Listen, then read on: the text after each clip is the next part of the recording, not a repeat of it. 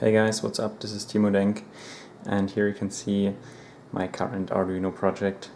It's about ambient light and as you can see on the right hand side of my screen there's ambient light in the background and it changes according to the shown images on my screen or the shown video.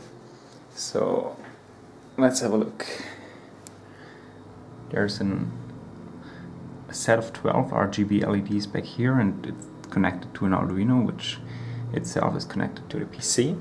And on the PC there runs a software that reads the average screen color frequently, changes it a little bit, makes it more colorful, and then outputs the color value to the Arduino so that it can make the RGB LEDs shine.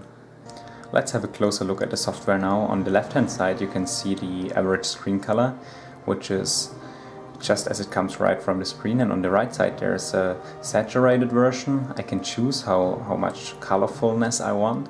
So if the slider is completely on the right side it's just making it as colorful as possible whereas the left side um, leads to a exact representation of the average screen color. As you can see that it's not really interesting to look at, it's usually just a grayish tone whereas when I slide this over it turns to blue and makes it more colorful essentially. So here you can choose how quickly you want the color to be updated.